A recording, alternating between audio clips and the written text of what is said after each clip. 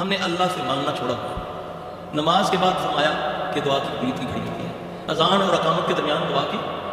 बताया ना नबी से जो ऐसे कोई स्टोरी ना। अब इसमें मांगे तो सही। थोड़ी देर लगा लिया करा।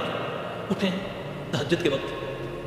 अल्लाह की कसम, तजर्बा है। जिद लगाओ, जैसे माँ के साथ बता देगा जो मांगो ना मिलेगा ये नुस्खा अल्लाह बता खुदू रब्बा तुम तजर इन्ना चुपके से तमस अल्लाह से उसे उठो।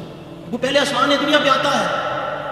और ऐलान करने वालों को हुक्म देता है, ऐलान कर दो, है कोई नाम राज जो औलाद नहीं कर है कोई बेऔलाद जो औलाद ले ले। है कोई मकरूज जो मुझसे अपने कर्जे के लिए करते है। कोई बदनसीब जो अपने नसीब से।